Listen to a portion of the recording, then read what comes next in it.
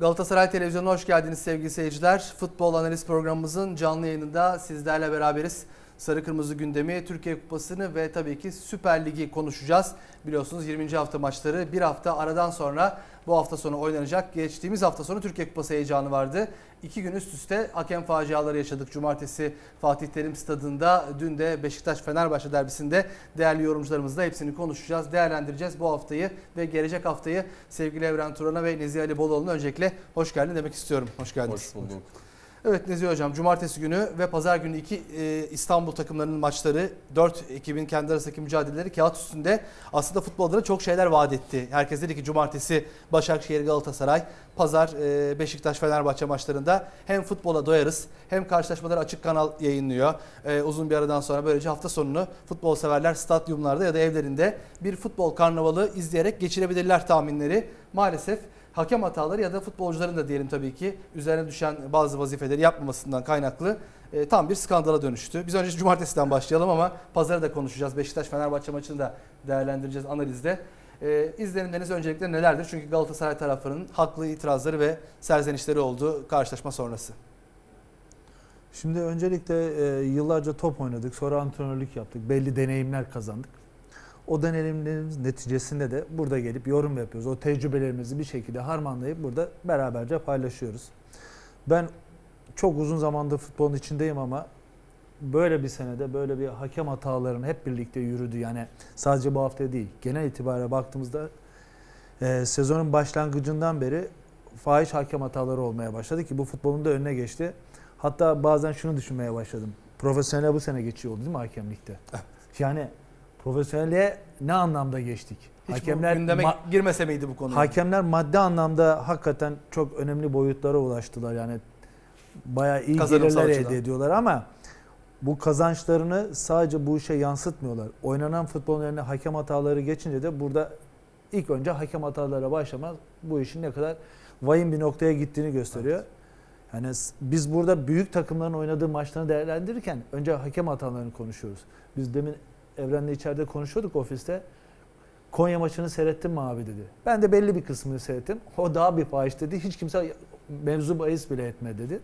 O yüzden ne yazık ki hakem hatalarına başladık. Galatasaray maçını biz belki Galatasaray takımının bariz hataları var kendi içinde ama hakeme sığınıyoruz ya da hakemin hataları maç önüne geçtiği için önce hakemle başlıyoruz. Gündemin birinci maddesi Gündem bir- maalesef yani hakemler oluyor. Bizim sahada yaptığımız Galatasaray takımı olarak o hatalardan ziyade önce hakemden bahsetmek zorunda kalıyoruz ki bu bize bir neden oluyor ama Evet. o nedenleri de bırakıp kendi takımımızın kendi hatalarını da biz bazen zaman içinde açıkça dile getiriyoruz. Eleştirilerimizi de yapıyoruz ki bu bizim kendi görüşlerimiz veya tecrübemizden kaynaklanan tercihler diye düşünüyorum. Maça gelince de evet e, yani hakikaten zevkli bir maç bekliyordum. Ben ben cumartesi içinde, pazar içinde ama hakikaten inan bana buraya sana yoruma geleceğimi bildiğim için önceden maçı 90 dakika seyretme zarureti hissettim onu. Yani maçı seyretmemin tek nedeni oydu. Çünkü belli bir zaman diliminden sonra maçın zevksizleştiğini yani istek ve arzunun az olduğundan futboldan bahsedecek bir konu bulamadığım için de maçı mecburen seyrettik. Ee, şimdi öyle bir şey anlatacaksın ki hakem bir yanlış bayrağı maçın gidişatını, kaderini bir anda değiştiriyor. Hani yaptığınız taktikler, alıştığınız bütün hafta yaptığınız bütün o provalar bir anda hakemin hatasıyla nötrünüzde oluyor. Erken gelen bir sakatlık, Schneider'in oyundan çıkması, Galatasaray'ın zaten e, senin de demin dediğin gibi Schneider'sız maç kazanmama alışkanlığı Galatasaray'da o zaman daha da zora soktu erken çıkan sakatlık. Bir de hakemin hatası eklenince bir de şöyle diyeyim Galatasaray'ın çizdiği tablo, istikrarsız tablo maç mı seçiyor desek maç da değil. Şöyle bir tercih var bence. Hayır, maç seçilse bu en seçilecek Maç maçtır. seçilme de değil. Değil mi? Galatasaray'ın oyuncu yapısı şunu gerektiriyor. Sezon başı şunu söylemiştik. Galatasaray topa hükmeden bir takım olduğu için top ayağındayken hakikaten iyi oynayan ama top rakibe geçtiği zaman da zorlanan bir takım bu sene. Bayağı bir zorlanıyor. Ve eğer Galatasaray'da o gün maçı oynamak isteyen oyuncu ya da o maçı arzulayan oyuncu sayısı azsa Galatasaray'daki dalgalanma daha da fazlalaşıyor diye düşünüyorum ben. Hayır şimdi maçın biraz sonra e, hakem konuştuktan sonra içine daha çok sevgili Evren Turan'la beraber gireceğiz ama şöyle bir gerçek var. Mesela Başakşehir maçındaki pas yüzdesinin analizi yapıldığında 20 pasın 5'i yana, e, 5'i geriye düzeltiyorum 14'ü yana atılmış.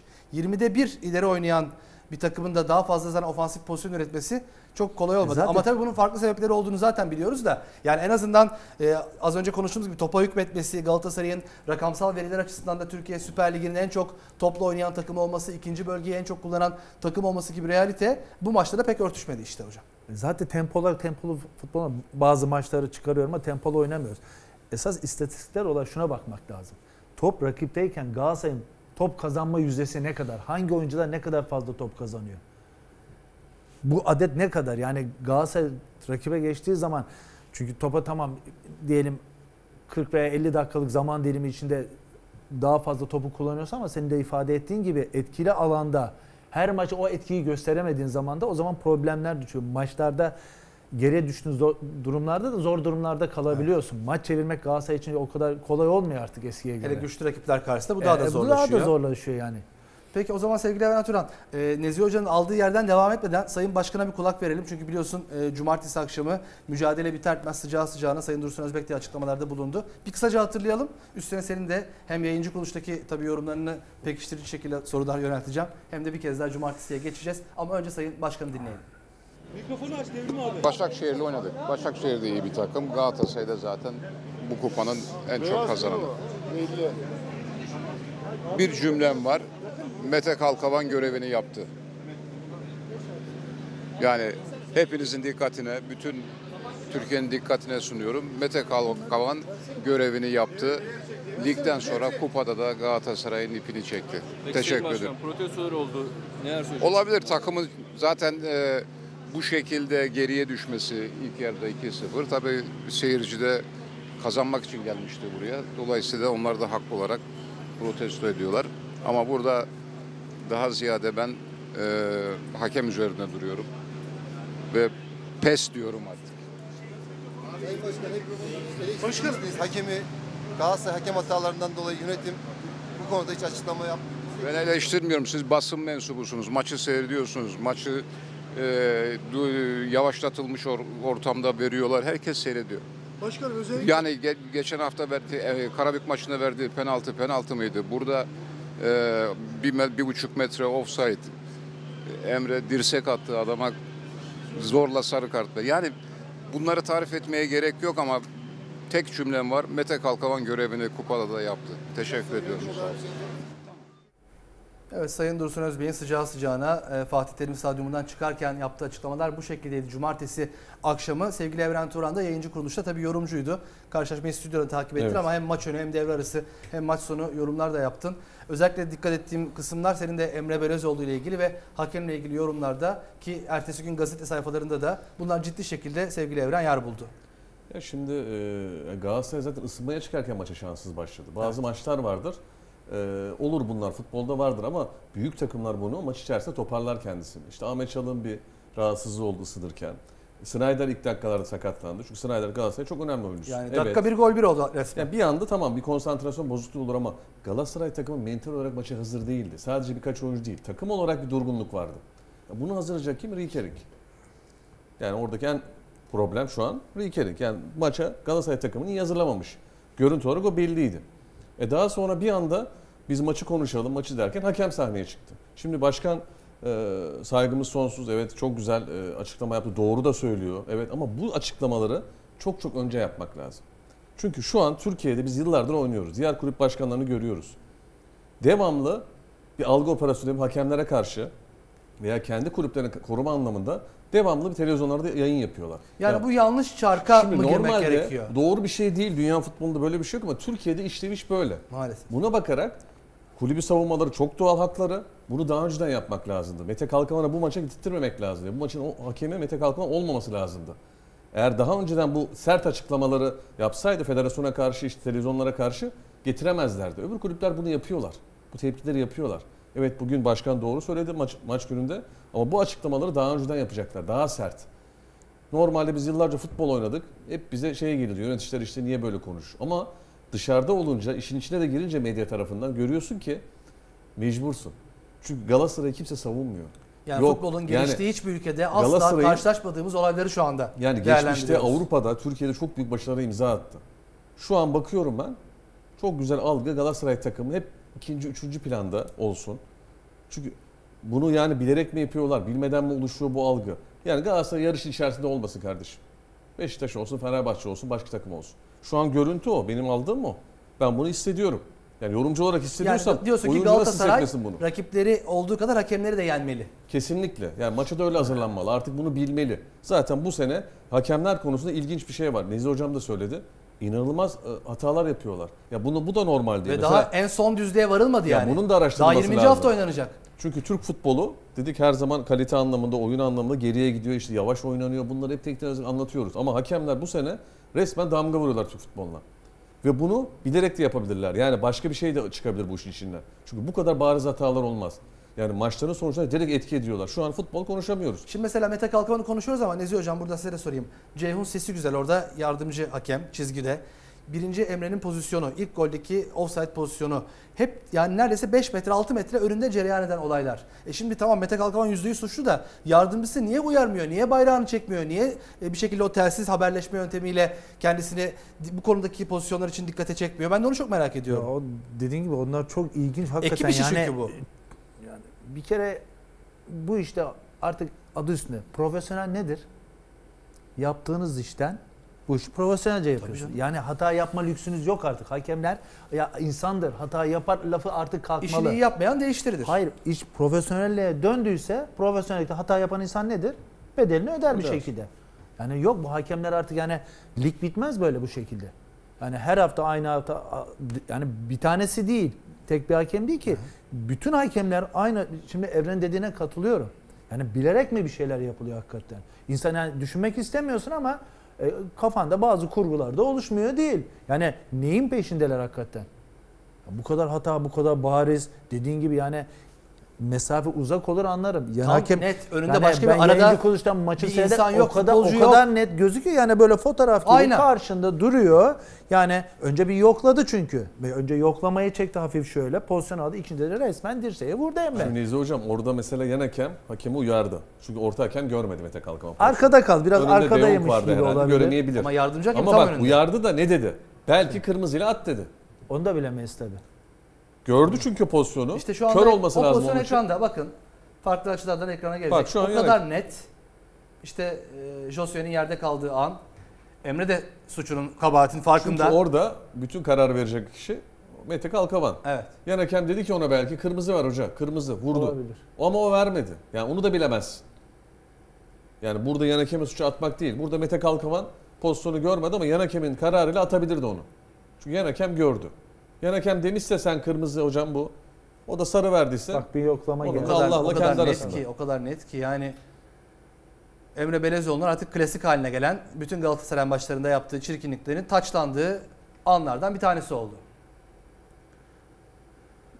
Bu pozisyon ve öncesindeki offside pozisyonu tabii goldeki yani maçın kırılma anları 14. dakika. E, orada da çalı- çıkacak bir e, offside bayrağı. %100 offside. %100 offside tamamen skoru ve gidişatı değiştirecek bir Ve aynı hakem yapıyor aynı hatayı. Evet. Bak ben oradan da İkisi de tam şüpheleniyorum. gözünün önünde oldu. Ben o zaman o, o zaman iyice kullanıyorum bu işte. Demek ki o zaman yan hakem kırmızı demedi de sarı dedi. Veya işte aynı hatayı yapıyorsun. Demek ki futbol kuralları Yani- değişime, değişime ya da yoruma açık. Ben öyle yorumluyorum. Ya tabii şu da var. Bak hakem evet maçı katletti. Mete Kalkan o bir gerçek. Ama oyun anlamında da Galatasaray hani etkilendi ve oyun anlamında bir şey vermedi yani. Peki oyunun detaylarına geçmeden bir e, hazırladığımız bandımız daha var. Çünkü o gün hangi sayfayı gazetelerde açsak sevgili seyirciler manşetleri Sayın Özbek'in açıklamalarının yanı sıra e, hakem Mete Kalkavan ve ekibinin yaptığı hatalar, Emre Belezoğlu'nun dirsek pozisyonu, e, Başakşehir'in attığı offside golün e, gol olarak değer kazanması gibi pek çok yanlışın sayfalara yansıdığını gördük. Bir o haberimizi de ekranlara getirelim bir kez daha hatırlayalım. Hem e, değerli konuklarım Nezih Ali Boluoğlu hem de Evren Turan'la maçın ve kupanın diğer ayrıntılarını konuşmayı sürdüreceğiz. Zira Türkiye Kupası son 16 turunda Galatasaray ile Medipol Başakşehir'i karşı karşıya getiren mücadelede hakem Mete Kalkavan verdiği skandal kararlarla maça damgasını vurdu. Medipol Başakşehir'in Mustafa Pektemek'le bulduğu ilk golde asisti yapan Visca'nın savunma arkasına sarktığı pozisyonda ne hakem Mete Kalkavan ne de yardımcı hakem Ceyhun Sesi Güzel bariz offside'ı görmedi. Dakikalar 19'u gösterdiğinde Emre Belezoğlu Josue'ye iki defa dirsek atarken Yan hakemin tam da önünde gerçekleşen bu centilmenlik dışı harekete sadece sarı kart göstermekle yetinen Kalkavan, Josue'yi ise kimsenin anlam veremediği bir şekilde kolayca sarı kartla cezalandırabiliyordu. Taraflı tarafsız herkesin tepkisini çeken bu kararlar maçın kaderini doğrudan etkiledi.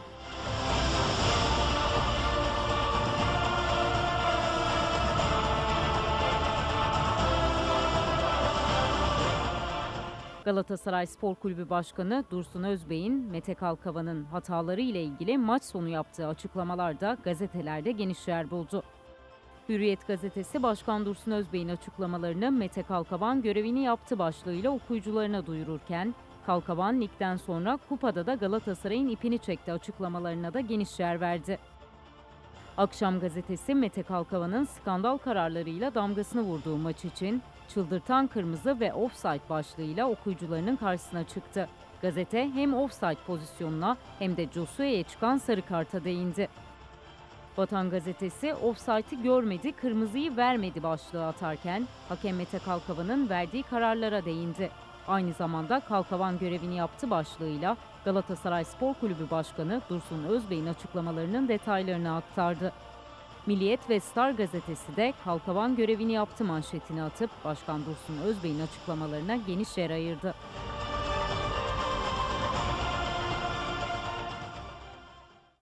Aralarından bazılarını seçtik ve ekranlara taşıdık ama dün gerçekten bütün gazete başlıkları sevgili seyirciler hakemin hatalarının yorum yanlışlığıyla doluydu. Sayfalar resmen bu şekilde boyanmıştı ama bilmiyorum federasyon şimdi mesela video görüntüsüyle ceza yöntemine gider mi? Bu federasyona ne kadar güvenimiz var? Ayrı bir tartışma konusu ama Nezih Hocam bu Avrupa'da çok yaşanan bir olay. Yani en azından o anda kaçsa bile bu kadar net görüntüler ışığında ben bir ceza bekliyorum açıkçası. Futbol oldu mu? Halk konuşuyor, herkes konuşuyor, oyuncular maçtan sonra konuşuyor, teknik adamlar konuşuyor. Konuşmayan tek bir kesim var. Hakem kesim. Evet. Yani ne bileyim bir ilk yapılmalı belki de. Maçtan sonra böyle bir yenilik de getirilebilir. Eskiden böyle arada sırada konuşuyorlardı ama çok net yani. değildi. Şimdi Onlar hiç da bir şeyleri kopardılar ya bir şeyleri paylaşsınlar ya. Evet ben hata yaptım. Şundan yaptım. O an göremedim. Şu açıdaydı. Yan hakemle şurada yola En azından içindeydik. bu olay üzerine senaryo inşa etmemizi engeller. Yani böyle Değil bir mi? girişimde bulunmak lazım bence. Çünkü konuşmayan tek kesim hakemler. Yani hakemlerin belli bir şeyini gösteriyor. Yok işte Riva'da şu kamp yapılıyor, Riva'da şu topla. Yani hafta içi bütün bu pozisyonlar tartışılmıyor mu? Tartışıldığı zaman nasıl bir sonuç çıkıyor? Benim aklıma gelen tek bir şey var. Şu bir anımı anlatayım size. Lincoln Fenerbahçe'ye e, Kadıköy'de bir gol attı. E, hakem- 2-0 oluyordu. 2-0 oluyordu. Ve maç bitecekti. Hakem neydi? Hüseyin Göçek. Hüseyin Göçek 1-0 öndeydi Devre Galatasaray. arası İkinci yanına gol. gittim. Çünkü ayak temas var. Temas var. Çarptı. Hüseyin Göçek'e dedim ki hocam dedim temas var niye çift vuruş verdi dedim. O ayağın hareketi dedi ondan sonrası beni ilgilendirmez dedi. Ertesi sezon başı da Oğuz Sarvan geldi seminer için bizim kulübe. Oğuz Sarvan'a dedim ki hoca dedim böyle böyle dedim. Hakeminize sordum dedim. Ayağın hareketi devamını indirmez dedi. Yanlış yaptı hoca haklısın dedi bana Oğuz Sarvan. Ama yani o bir maçı götürdü. 2-0 öne geçiyordu Galatasaray 2-0 öne geçiyorsun. oradan maç Biz dönmezdi. Benfica'dan dönmüştük. Benfica galibiyetinden gelmiştik. Ama yani bunu yapan hakemi yani amatör küme, ikincilik, üçüncülük hakemi yapmıyor bunu. Senin first class hakemin yapıyor bunu yani. Yetiştiler ama yetiştirdikçe bir gelecek vaat etmiyor hakemlerimiz şu anda. Hep daha beter, daha kötüye giden bir hakem sistemi var. Hani ne kadar profesyonelleşsek de futbolun kalitesine bir katkıda bulunmuyorlar. Futbolu sekteye uğratacak karar ve davranışlarda bulundukları için de her geçen gün futbolun keyfi kaçıyor. Esas bundan şey olması gereken yayıncı kuruluşlar. Kupada olsun, ligde olsun. Onların da bir çözüm üretmesi lazım. Demin dediğim gibi tekrar dönüyorum. Hakemleri bir şekilde bu futbolun içine sokup onları da konuşturmak lazım diye Neden? düşünüyorum. Neden? Çünkü o kadar paralar verip bu maçları Yani- satın alıyorlar. Şimdi tabii. ne oluyor? Futbol kalitesi olmayınca maçı da izleyemiyorsun. Şu an İzleyemiyor. futbolu konuşamıyoruz. Dünkü maçta sırf hakem. Biz Galatasaray Ve maçında hakem, oy- yani oyundan da kopuyorsun. Yani futboldan İşte kopuyorsun. programı açtık. Biz de işe 20 dakika oldu. Dediğin Daha, gibi daha oyuna giremedik oyun yani. giremedik. hareket- düzeleceğine inanmıyorum hocam bu sene. Ya bu işte bir kasıt olduğunu düşünüyorum. Yani düzeleceğine inanmıyorum. İyimserliğimi Yani kaybettim. işin hakikaten yani, en acı kısmı daha 14 haftadan fazla o 20. hafta oynanacak. 15 hafta var yani. Yani esasen futbolu şekillendiriyorlar. Yalnız hani yalnız Galatasaray olmuyor bu hatalar. Anlatabiliyor muyum? Bütün diğer kulüplerde de bir sürü hatalar oluyor. Ama son dönem işte zaman- bazı hakemler Ha, bazı ön hakemler- plana ha, çıktılar. Doğru yani. ya şu an onları gözüne kestirmişler. En çok en, en basit şu an Galatasaray geliyor onlara. Galatasaray'ı aradan yiyelim. Kupadan gitti. Ligde de bir şekilde yiyip yani Galatasaray'ı yani Avrupa'da Galatasaray temsil etmesin Türkiye'yi. Yani amaç o.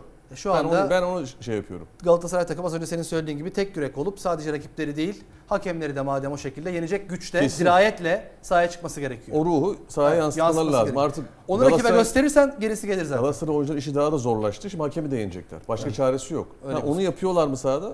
Yapmıyorlar. Kusura Evet. bakmasınlar. Mesela o şimdi o gerçek. zaman biraz Başakşehir maçına o anlamda girelim. Nezih Hocam dikkatli izlediniz karşılaşmayı. Evren Turan da aynı şekilde ekran başında izledi. Biz de burada konuklarımızla maçı seyrettik cumartesi akşamı. İlk 10 dakika ben hatırlıyorum iyi başladı. Poldi'nin şutu direkten döndü. Orta sahaya daha hakim bir görüntü. Ama bir şanssız pozisyon. Tabii hemen uzmanlık alanınız olduğu için e, Cenk Mustera kıyasına mecburen gireceğiz. Çünkü şu, şu ana kadar Galatasaray'ın kupa kalecisi Cenk'ti. Bu maçta da Rikenik formayı Cenk'e teslim etti. Ben şahsen Cenk'in çok iyi bir kaleci olduğu görüşünü her zaman savunurum. Altay'da bir sene çok ta- full takip ettim. Denizli Spor'da keza Beşiktaş çok iyi maçlar çıkardı.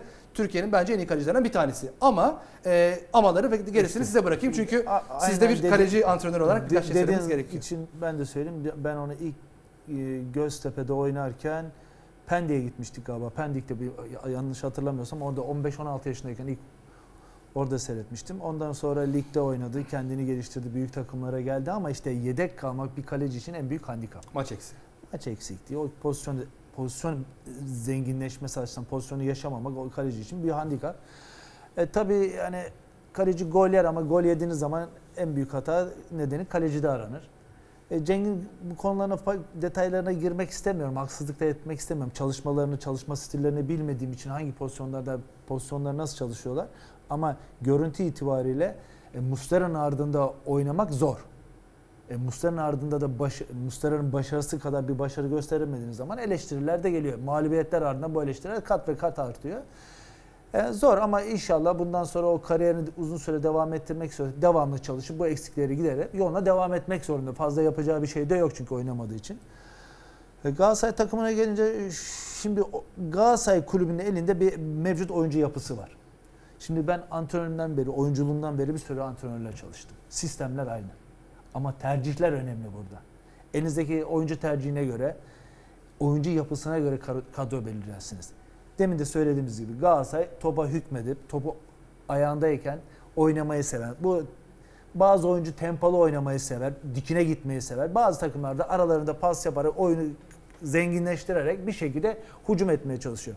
Ama Galatasaray savaşçı ruhunu geçmişten alışma gelmiş Avrupa kupalarındaki o geçmiş baskı yapan, pres yapan, topu kaybettikten sonra rakipten topu kazanmak için alan daraltan oyun zenginliklerini görmüyoruz. Hiç bu, sadece top ayağındayken belli oyuncuların yetenekleri doğrultusunda skor yapmaya çalışan bir takım hüviyetinde gözüküyor. Ee, burada da hocaya yükleniliyor. Şimdi hoca elindeki kadroyla belli bir şey yapmaya çalışıyor. Ama hoca tercihlerinde eldeki mevcut tercihlere göre yaptığı için de zorlandığı maçlarda oyunu çözecek yedek kulübesine baktığı zaman aynı oranda oyuncu yok. Ya da bu rekabete girecek oyuncu yapısında oyuncular olmadığı için de çok problemler yaşıyor Galatasaray. Şimdi transfer çalışmalarında da Rodriguez diye bir oyuncu geldi. Onun pek kullanma şansı bulmadı. Şimdi hem lige Gelir hem- gelmez de katkı sağladı. yani gelir gelmez belli bir katkı sağladı. Tercihini niye bu yönde kullanmadığına dair bir e, açıklama da yapmadı Ama herhalde açıkçası. işin gerçeği bilmiyorum Evren sen de araya gelebilirsin burada. Yani Yasin o kadar performansını o cezalı kaldığı dönemden sonra arttırma gayreti içine girdi ki böylece Buruma Yasin Rodriguez'di. Orada bir çıtanın yükselmesi alternatifli kadroyu çok e, elinde hocanın Ama- belki dezavantajlarla soktu diye bir düşünüyorum. soru veya ortaya bir yorum atalım. Yasin götürülmedi kampa değil mi? Evet. Kendi çalıştı. Bak kendi çalış ne güzel sıra. Diğer oyuncuların fiziksel performanslarda aşağı kalan bir görüntü verdi mi Yasin? Vermedi. Onlardan daha başarılı, daha, Daha agresif, daha o zaman bazı şeyleri nedenleri araştırırken şimdi sen de çok senelerce top oynadı. Antrenman bilimi her sene gelişiyor ve geliş, gelişiyor. Oyuncular da kendini geliştirmek için özel performans hocaları da tutuyorlar. O zaman burada irdelememiz gereken başka konular var. Bu takım hazırlık periyodunda eksikleri veya sezon içindeki özel antrenmanlarda bazı eksikler mi var ki bu takım fizik olarak bazı noktalarda eksik veya sırıtma gösteriyor? Ya zaten iyi çalışmadı takım devre arası. Rikerik bunu o zaman söyledi. Ama devre arası Yani- diye bir şey artık olmadı zaten. 4 gün Antalya'ya gidildi. olsun, yani 10-15 gün bir. Suudi Arabistan'da maç yapıldı. demedim. Hayır devre arası sadece demedim. Sezon başından gelir zaten en iyi Bu çalışma. planlama yıllık yapılır. Evet.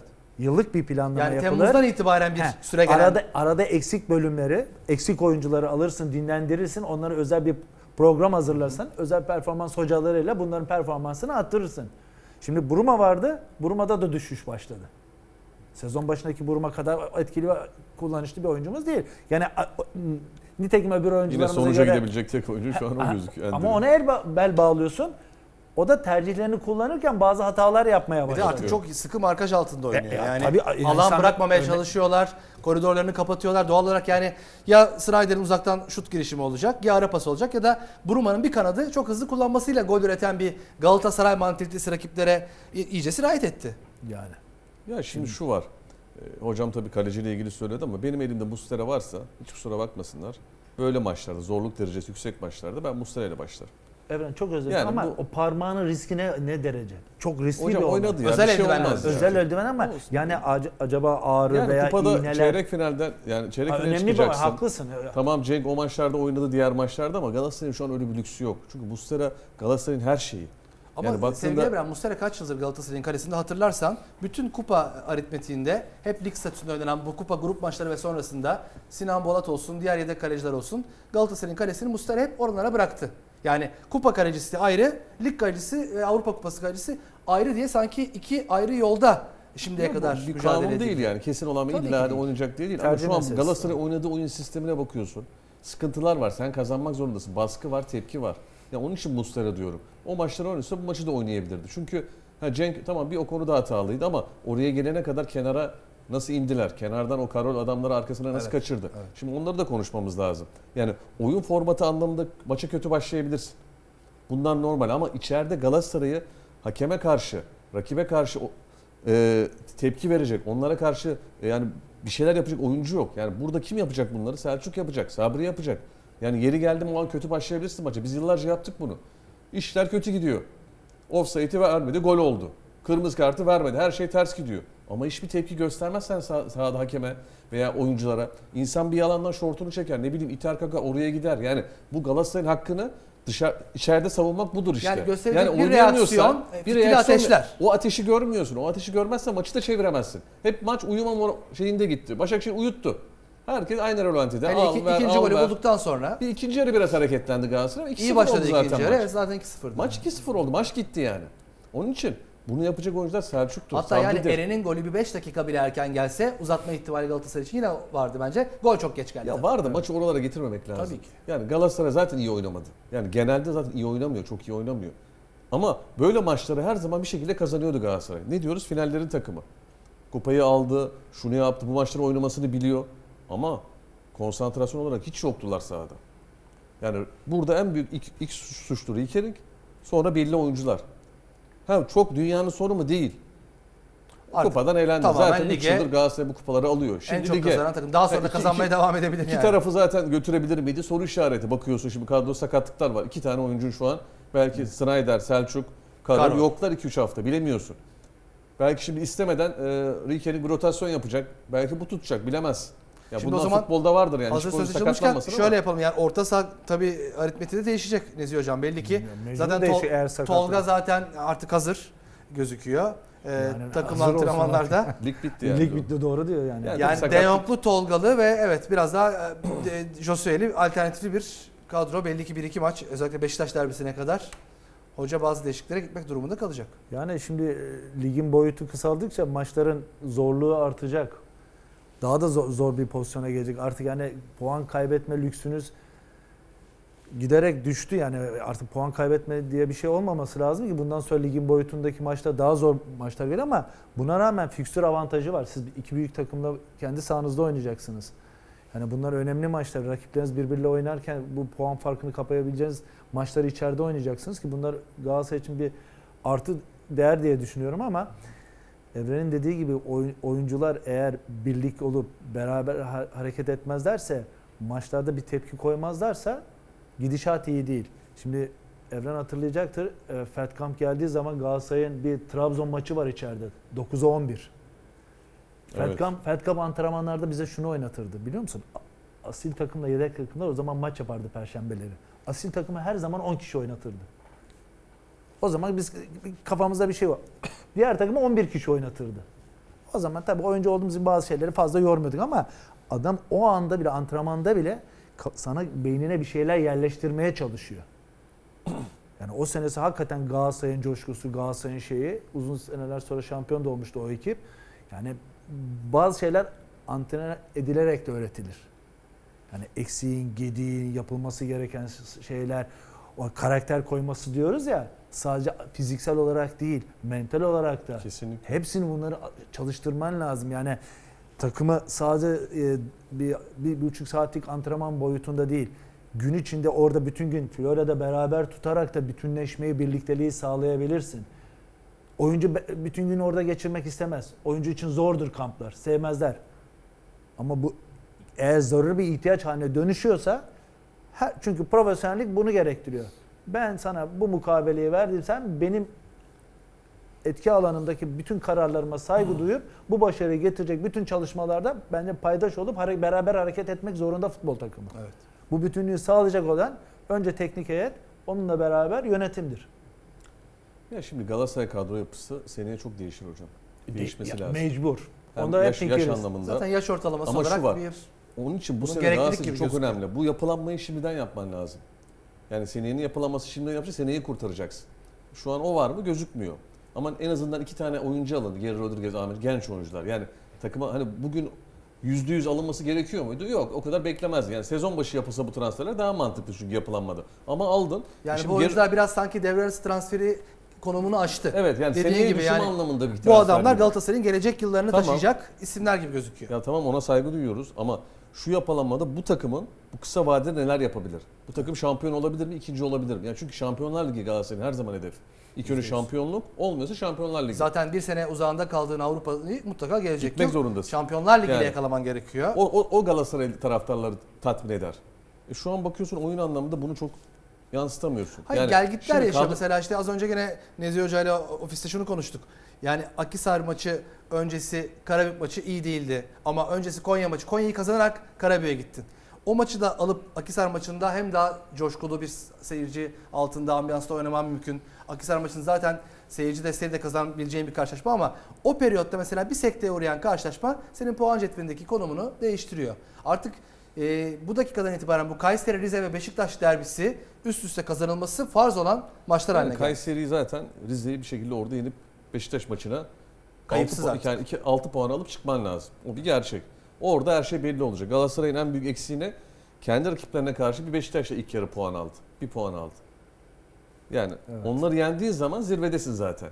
Çünkü öbür takımları bir şekilde yeniyorsun. İçeride iyi oynuyorsun. Kayseri maçı. Snyder yok, Selçuk yok. Evet bir değişiklik yaparsın orta sahada. Tolga geliyor. Jose'yi biraz öne alırsın ve ikisini yan yana Belki oynatırsın. Eren Poldi for- formatında bir Geri şey Rodriguez'i yapılabilir. artık Riker'i herhalde oynatır. Oynatması lazım çünkü transfer olarak aldın. Orada yere bir monte edecektir. rotasyon yaparsın.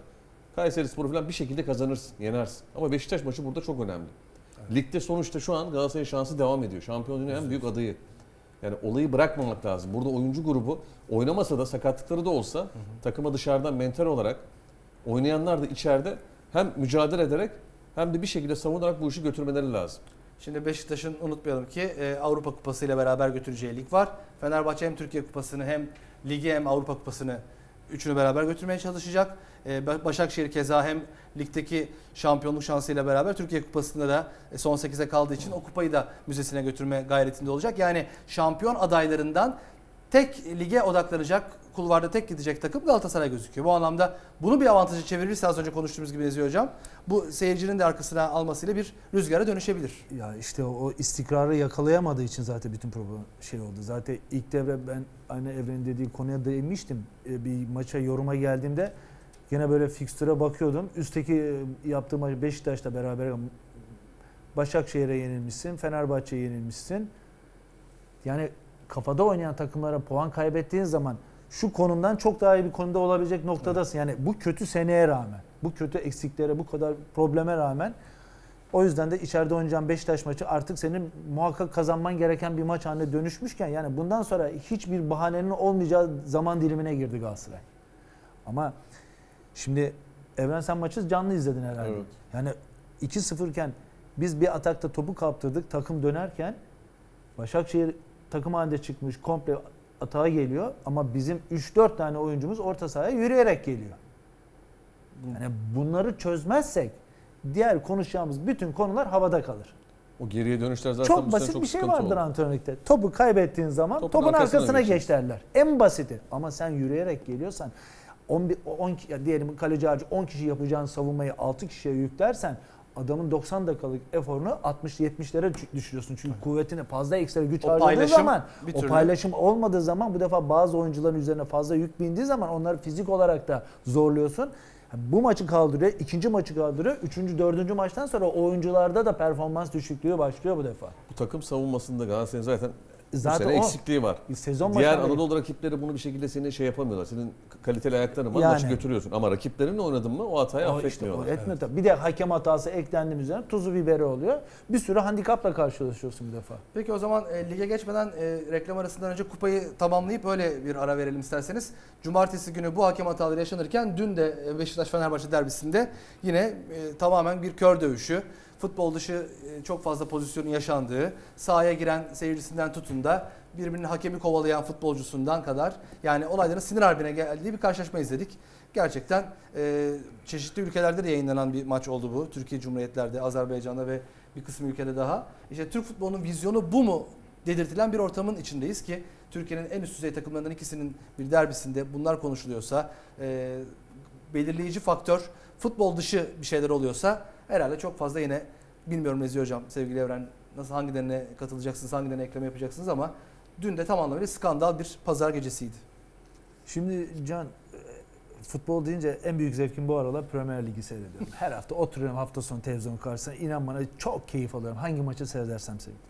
Şimdi bizde bir futbol kültürü olmadığı kesinleşiyor artık. Kesin. Yani buna kesin artık noktaya koyalım. Çünkü bize maç dendiği zaman biz futbolun güzelliklerini değil, nasıl, ne yaparız da o sahadan galip gelmek için her yolun mübah olduğu bir şekle dönüştürüyoruz futbolu. Yani bir kere bunu şey yapmamız lazım. Tamam evrene katılıyorum. Başkan böyle konuşmalı, şöyle yapmalı diyor. Neden? Çünkü ülkede futbol bu diyor. Ama hepimiz aynı yönde hareket edersek biz bu yoldan çıkamayacağız. Kendimizi futbol anlamında geliştiremeyeceğimize inanıyorum. Yani Gelişmiyoruz zaten. Gelişmiyoruz ama bunu geliştirmek için çözüm üretmemiz lazım. Tamam öbürleri kötü yapıyor. Biz hakkımızı aramak için aynı şeyi yaptığımız zaman futbolumuz gelişmiyor. Ya İngiltere'de maçı seyrediyorsun adamlar gırtlak gırtlağa giriyor. Maç 90 dakika Bitti. bitti. bittiği zaman ne sahaya bir seyirci atlıyor ne bir şey atılıyor. Hakem hata Ne bir yapıyor. yönetici beyanatı Ya var. bir tane hakemin itildiğini görmedim iyiydi. Bizim maçta var ya hakemi e, hallaç pamuğu gibi sallıyorlar. Yani yok yani bir şekilde bizim futbolu ülkemizde belli bir noktaya taşımamız için bu kabuğu kırıp bir şekilde içinden çıkmamız Yani lazım. hocam pazar akşamı derbiden ne kaldı aklınızda? İki tane pozisyon var Kav- mı? kavga ve kaos kaldı. Ya ben Yani- maçla ilgili analiz yapamıyoruz işte. Yani kafamda hiç Çok, yani pozisyon Beşiktaş yok. Fenerbahçe maçıyla ilgili bir şey konuşma Yani imkanı yok. aldığı birkaç vurdu işte Rovaş'tası soldan bir şutu çok güzel mesela. O poz, bir, birkaç pozisyon hatırlıyorsun. Yani. Yani oyunu konuşamıyoruz. Asla Niye? ön plana çıkacak şeyler değil bunlar Yani- düne göre yani. Neden? Burada oyuncular da biraz tabii gerginlik var. Hep diyorum ama gergin oyuncular da bundan etkileniyor. Biraz da medya onu yapıyor, yöneticiler yapıyor. O, oraya getirmelerinden nemalanan belli bir kesim var. Ama artık statlarımız çok iyi konuma geldi. Zeminler çok iyi konumda. Yani artık futbolun güzelliklerine herkes o temaşa zevkini vermesi için herkesin yapması gereken şeyleri kimse yapmadığı Bir sürece. de buraya biraz uyum sağlıyor. Mesela Van Persie yıllarca üst düzey takımlarda oynadı, üst düzey liglerde oynadı. Yani Tosic'in dünkü müdahalesiyle kendisini bu şekilde yere bırakıyor. Arsenal forması giyerken hiç böyle, böyle bir Van Persie profili gördünüz mü? Ben görmedim. Ya, şimdi o da Türkiye'de Hollanda maçları milli takımı izliyor. da, ha, burada böyle izliyor. yapılıyor diyor demek Futbol oyun anlamında çok şey katamadı. Dedi ki ben en azından burada bir katkım olsun. İşte. Ya Tosic de o hataya düşmemesi lazım. Çok Kusura bakmasın. amatörce. O, onda O da hataya düştü %100 ama- haklısın. Van Persie de atması lazım. Yaptığı hareketler. evet. Hele o Naoma gibi hani bir zaman yapmıştı o hareketi.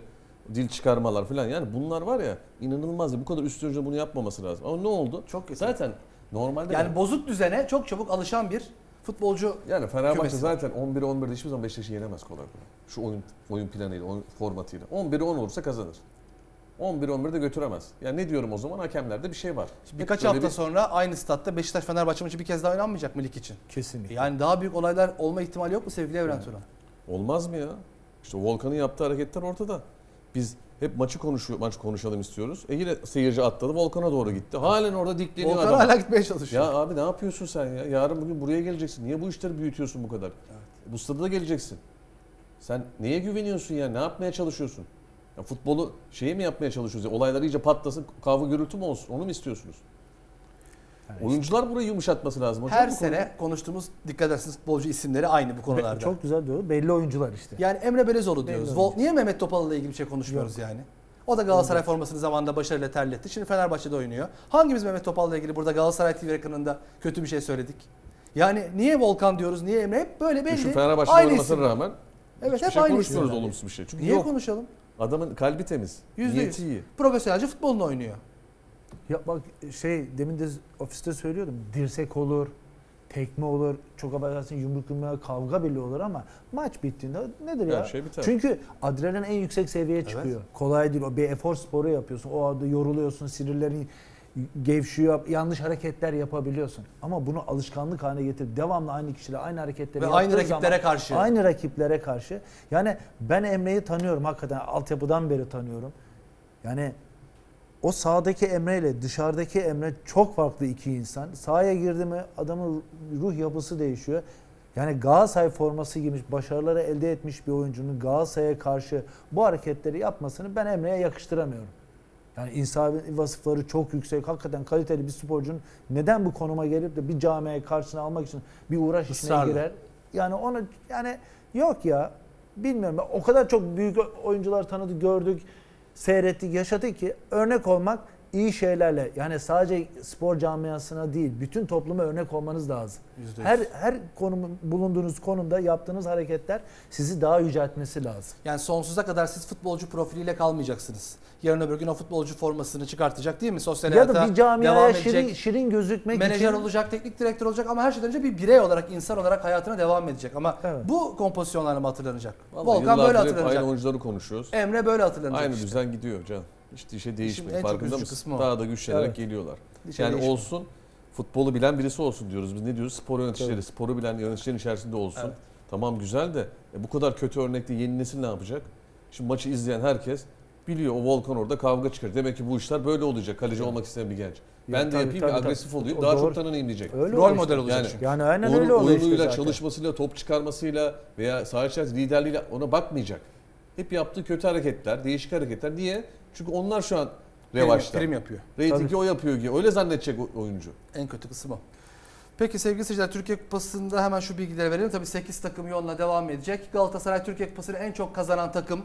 Ee, daha son 3 yıla kadar üst üste Galatasaray kazandığını bir kez daha hatırlatalım. Bu sene belki e, kupayı kazanamayacak, çeyrek finallerde olmayacak ama bundan sonraki yıllar yine kaldığı yerden devam edecektir. Şimdi Fenerbahçe, Başakşehir, Kasımpaşa ve Konya Spor seri başı oldular. Rize Spor, Akisar Belediye, Kayseri Spor ve Sivas Spor'da TFF 1. Lig'in bu kupadaki tek temsilcisi olarak yoluna devam eden takımlarıyla eşleşecekler. Çeyrek final ve yarı final kurallarıyla beraber artık çift maçlı eliminasyon sistemiyle kupada sona doğru gidecekler. Biz bir reklam arası verelim. Reklamlardan sonra da Süper Lig 20. haftayı konuşacağız. Futbol Analiz Galatasaray TV'de devam ediyor.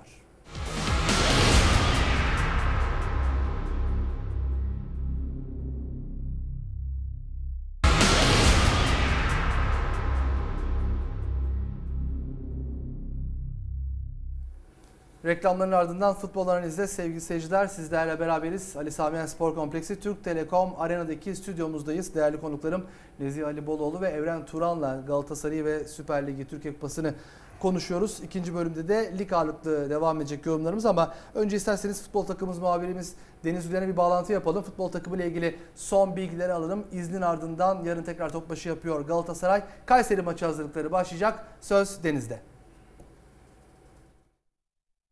Caner Besler teşekkür ediyorum. Galatasaray futbol takımı ile ilgili bilgileri sizlerle paylaşacağız. Hemen bağlantının başında belirtelim.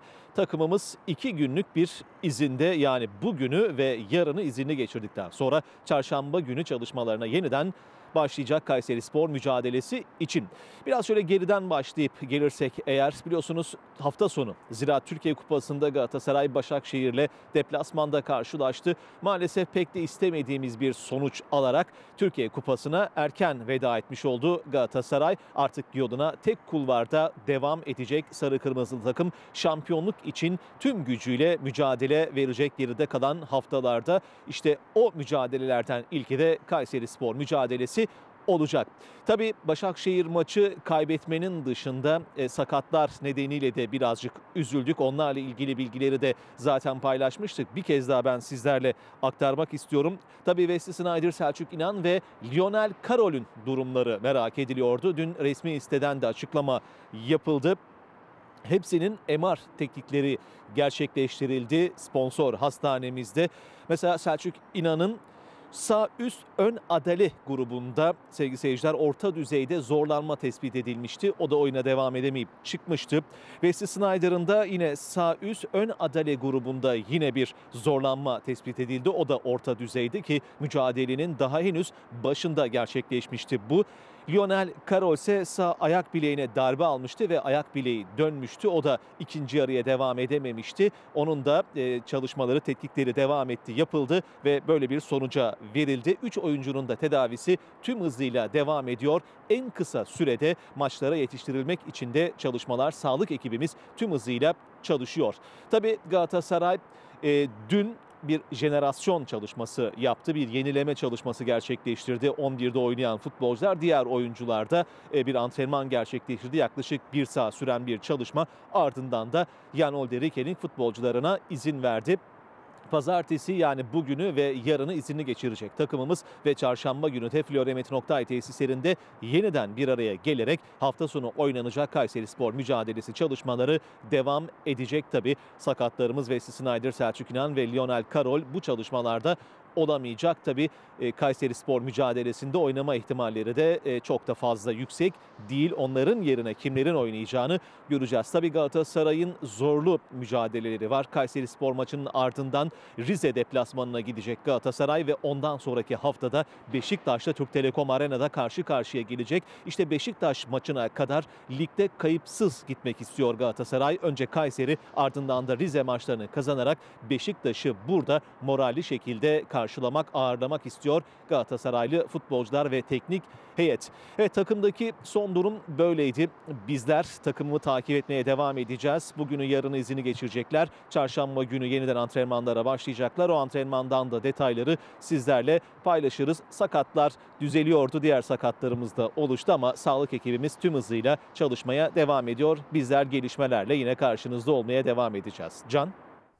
Deniz Gülen'e teşekkür ediyoruz sevgili seyirciler. Ee, dün biliyorsunuz bir rejenerasyon çalışması vardı. Bugün ve yarınki izinlerin ardından çarşamba günü topbaşı. Tabii bu skora endeksli bir izin değildi hocam. Bilmiyorum katılır mısınız ama yani sonuç ne olursa olsun Rikenik bu e, bilgilendirmeyi yapmıştı.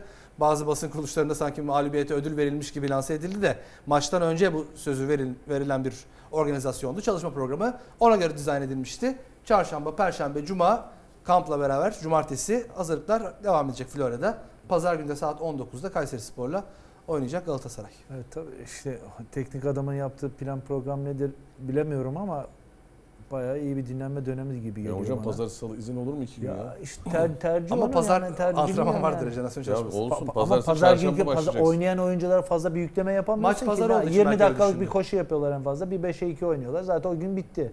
Bir- ondan sonra iki günde izin. Döneceksin çarşamba başlayacaksın.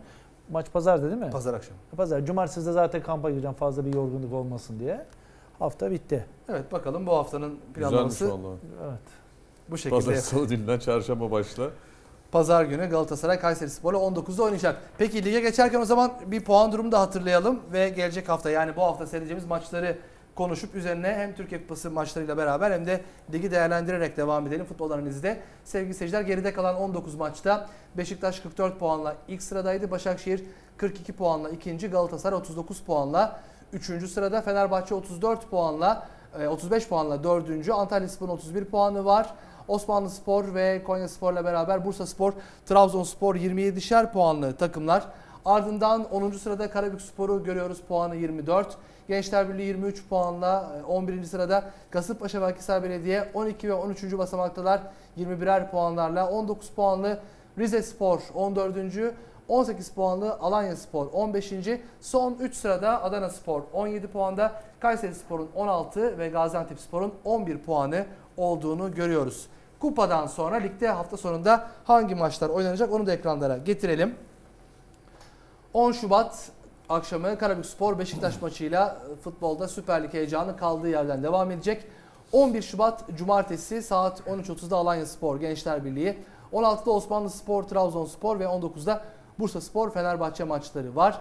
12 Şubat Pazar günü 13.30'da e, Kasımpaşa Başakşehir e, maçı iki İstanbul takımının karşılaşması aynı saatte Akhisar Belediye Rize Spor'u konuk edecek. 16'da Konya Spor Antalya Spor yine haftanın güzel geçmesi beklenen karşılaşmalarından biri.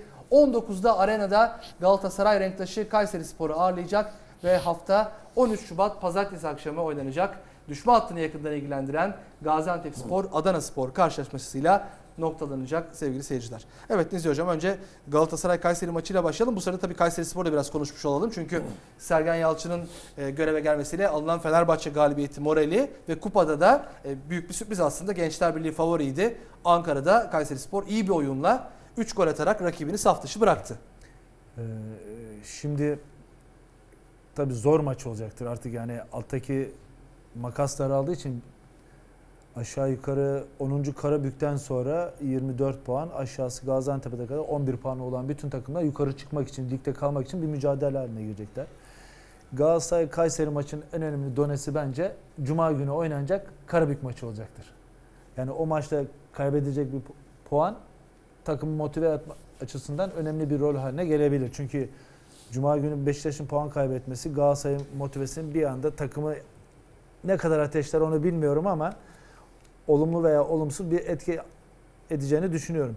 Kayseri bir çıkış içinde olduğu bir gerçek. Fenerbahçe galibiyetinden sonra kupada da aldığı galibiyette iyice morallendiler. Yani burada artık oyuncu iç sahada olsa, seyirci avantajı da olsa hakemlerle beraber oynayacağımız her maç bir artık handikap taşıyor. Çünkü ligin boyutu kısaldıkça, her puan değerli hale geldikçe oynanacak her maç zorluk derecesi artarak daha da yükselecektir diye düşünüyorum.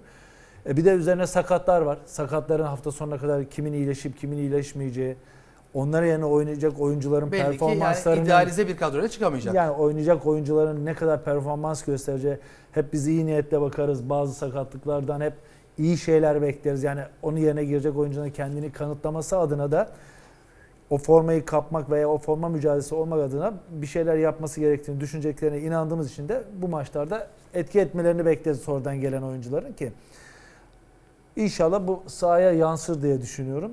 Ama demin de ifade ettiğim gibi Beşiktaş hakikaten Karabük yani deplasman olarak zor bir şehirdir. İnşallah orada kaybedeceği bir puan bizi ümitlendirir diye düşünüyorum ki lige daha fazla daha moralle sarılmamız için de bir neden haline dönüşür ki hafta sonraki Kayseri maçı için daha bir motive etsin diye bizi düş- düşünüyorum ben şu anda. Ya tabii şimdi e, şu kötü de bir rakip avantajlı şu an Beşiktaş 5 puan önde Ya seni. tabii ki. Hani ona göre hareket etmek değil de her maça tek tek bakarak senin olayı kazanman. Yani oradan puan kaybı bekleyeceksin ama sen kazanacaksın. Önemli olan o. E, şu an kadro yapısına baktığında evet sakatlar var. Şimdi burada Rikerik bir şekilde orada bir rotasyona gidecek istemeden de olsa. Bu rotasyon dediğin gibi hocam iyi de olabilir. Yani sonuçta Josie ilk Akisar maçı o bölgede iyi oynadı. Şimdi elinde zaten ekstra oyuncu da yok. Yani Snyder'in yerinde değil de işte Tolga iyileşirse Tolga ile beraber veya Belki De Jong'la Tolga De Jong beraber. önü, önü e, Josué alabilir. Ya ben içeride işte Tolga De Jong değil, iki tane oyuncu değil de bir tane daha orada topu kullanabilecek, O tercih arkaya top atabilecek. yani orada daha ne defansif yapabilirsin? oyuncudan daha ziyade daha Onun ofansif isim Podolski'yi de koyarsın. Öyle de oynarsın. Kenara Rodriguez'i koyarsın. Yani bunu yapacak Rikerik yani. Burada bir değişim yapacak. Hatta Bir hatta hareket bilmiyorum yapacak. katılır mısınız? Sinan Gümüş de hazır. Artık şu dakikadan itibaren. Ya o da işte bir forvet şekilde arkası onları da orada düşünebilirsin. Çünkü Kayseri Spor'la oynuyorsun. Evet Kayseri Spor Fenerbahçe'ye 4 tane attı ama dışarı deplasmanda çok maç kazanan bir takım değil. Ligde en az gol atan takımlardan bir tanesiydi Evet. yani. Akisar'dan eksi sonra. 14 averajlı 18 gol atmış. 18 bir takım 32 yani. gol yemiş bir takım.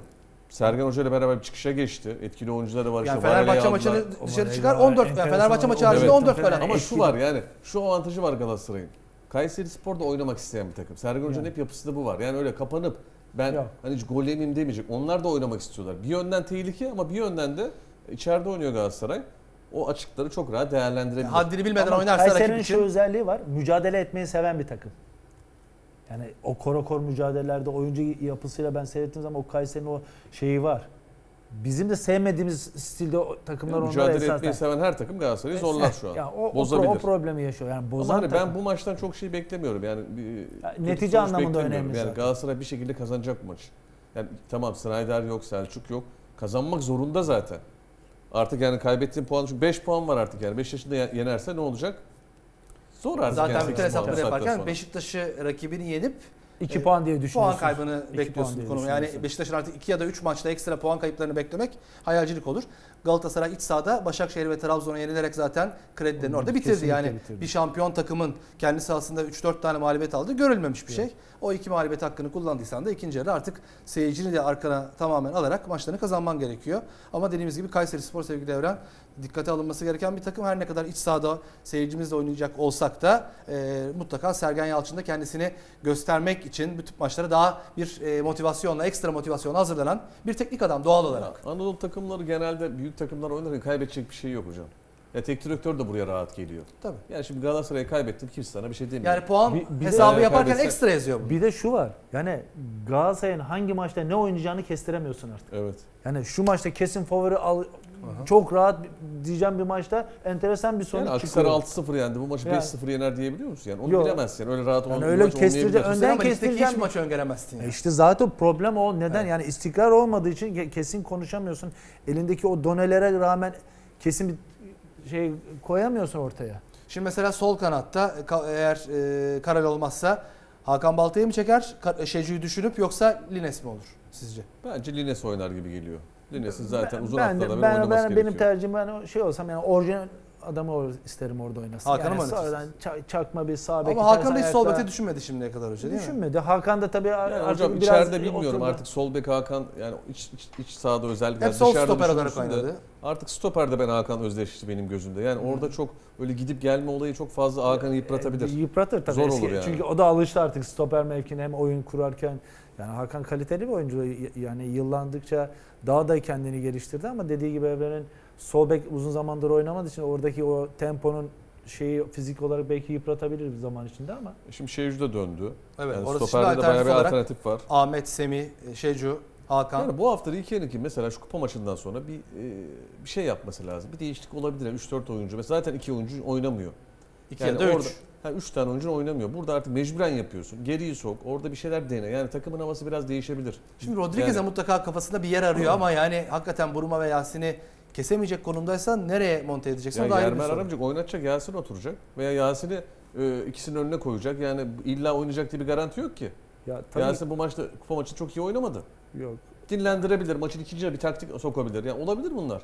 Ama Geri Rodriguez'de artık görmemiz lazım Bir de bu sonuçta. kupa maçında mecburen tabii oyuncu değişiklikleri çok erken kullanılmak zorunda Doğru, kaldı. tercihler. Yani hocanın da bu anlamda eli kolu biraz bağlandı Evren. Yani onu da düşünmek lazım. İlk dakikada Snyder beni değiştirin işareti yaptı. İkinci değişiklik yine çok erken. Üçüncü değişiklik de devre arası. Yani bir 46'dan sonra artık Allah korusun bir sakatlık oyuncu değişiklik hakkın kalmamıştı. Bir de bence şey var yani o stoper mevkinde o ikiliyi oluşturamadık.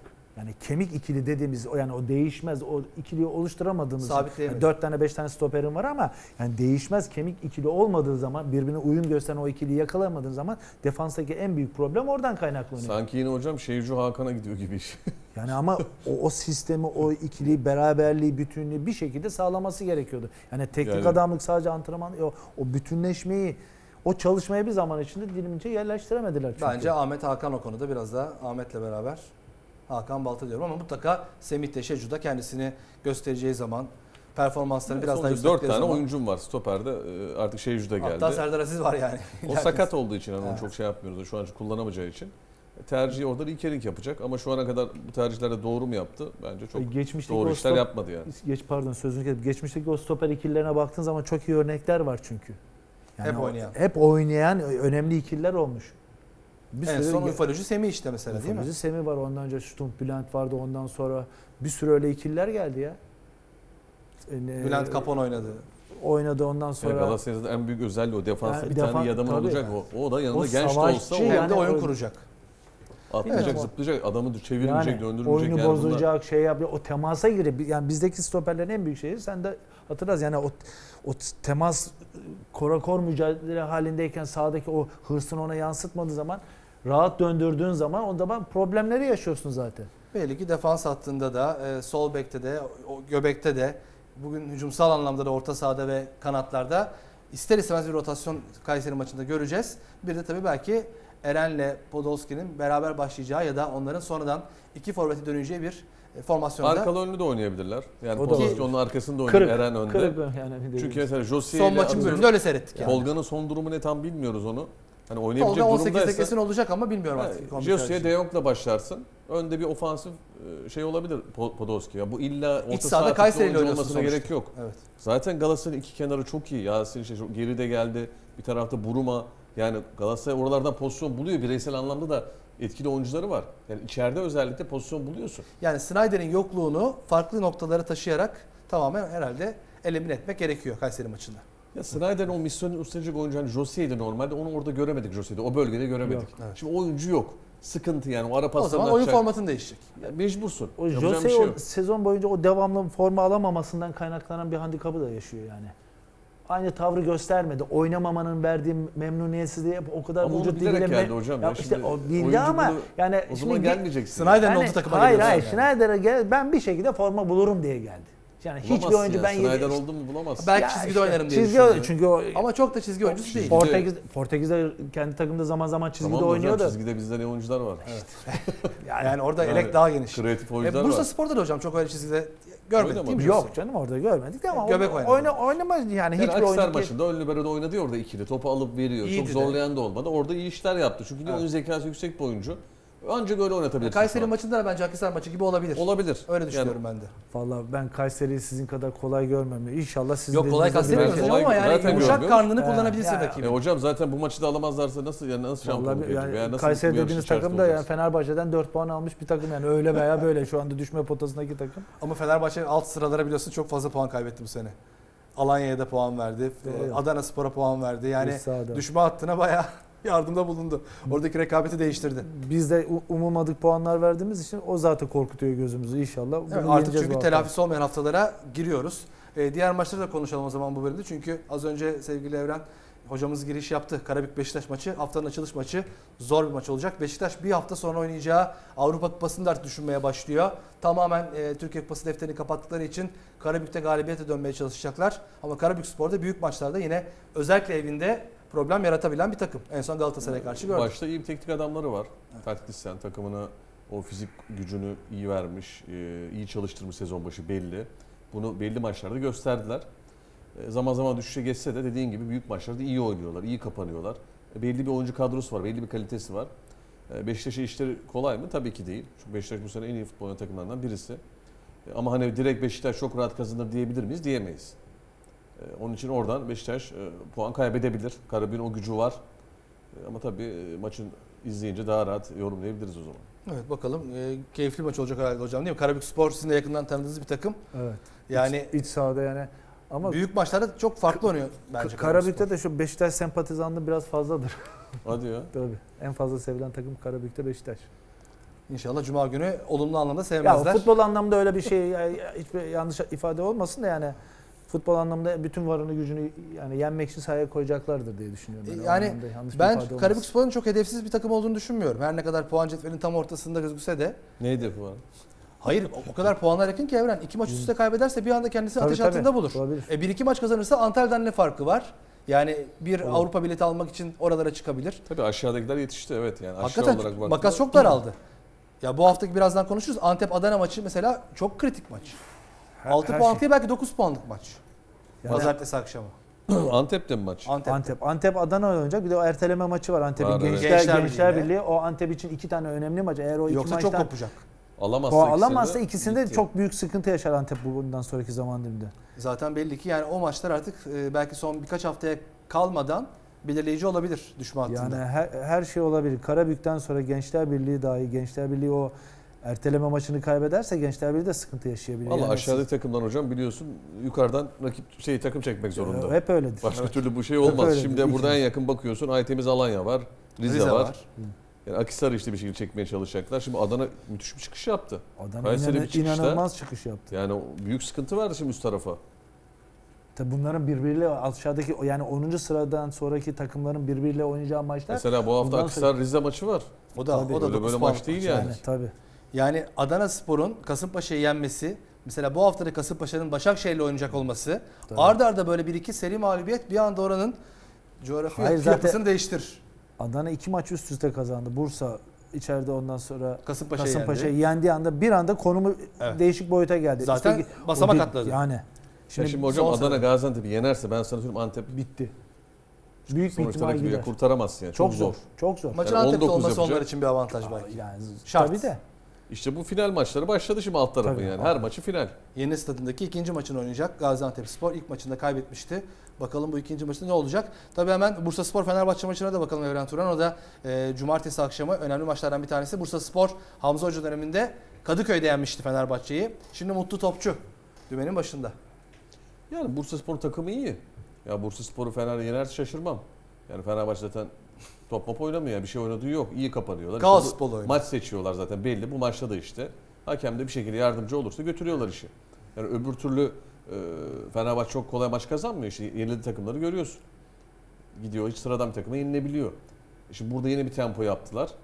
Ama Bursa Spor maçı onlar için kolay olmayacak. Yani Bursa'dan oradan ben bir e, beraberlik ya da galibiyet bekliyorum açıkçası. Çünkü Fenerbahçe bir puan daha kaybederse bir yenilgi gibi beraberle zaten e, ligde havluyu atıyor.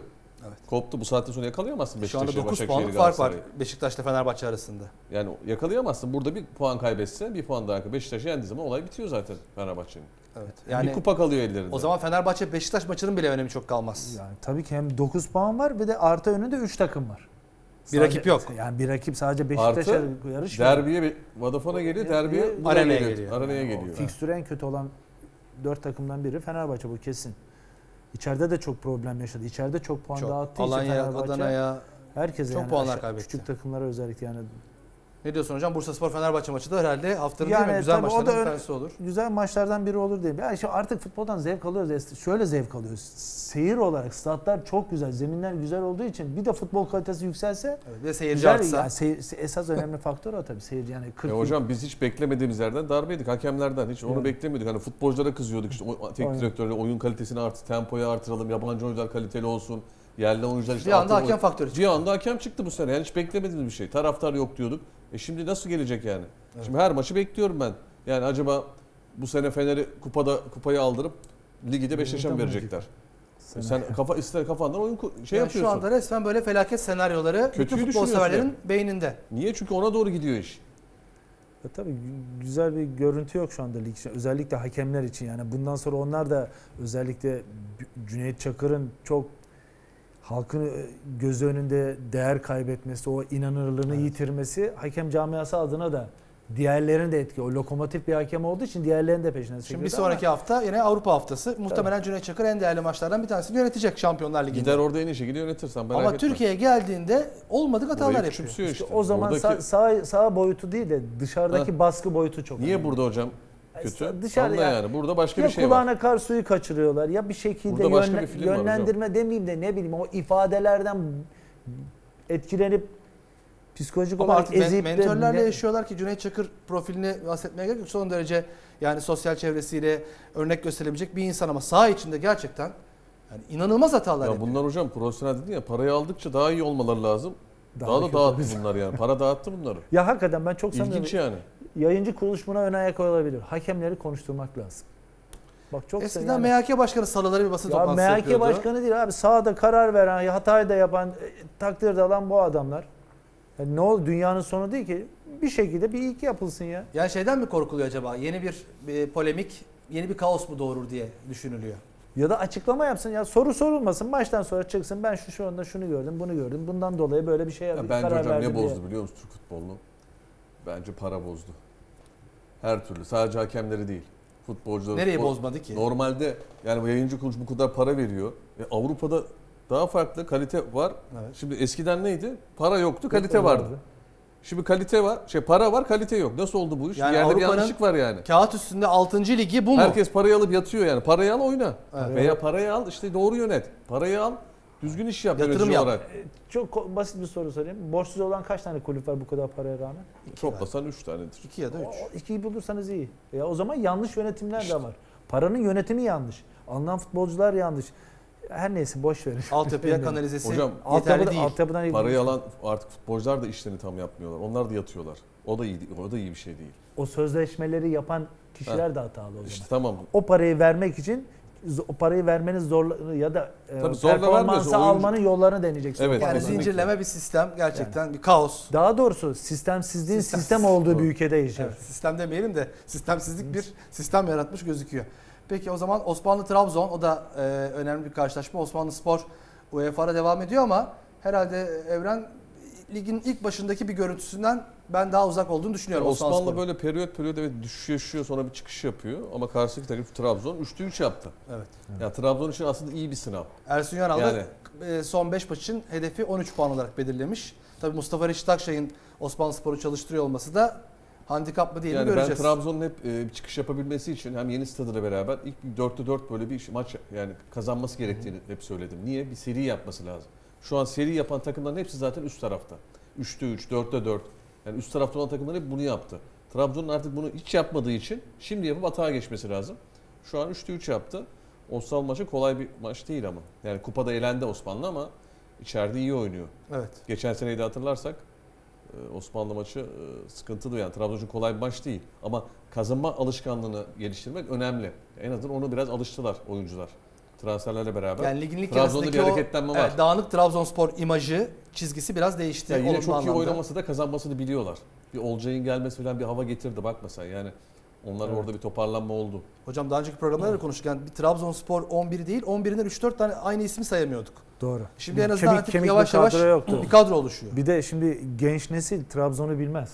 Bir de öyle bir yılların uzun Evet. bir yılların özlemi var Trabzon'da. Hakikaten Trabzon bu lige her zaman hem şampiyonluklarıyla hem oynadığı futbolla İstanbul'a geldiği zaman büyüklere kök söktürmesiyle yani bu hakkı pardon bu ismi hak ederek kazanmış bir takım Trabzon. Yani hakikaten gene o eski şaşalı günlerine dönmesi için belli bir süreçten geçmesi kesin.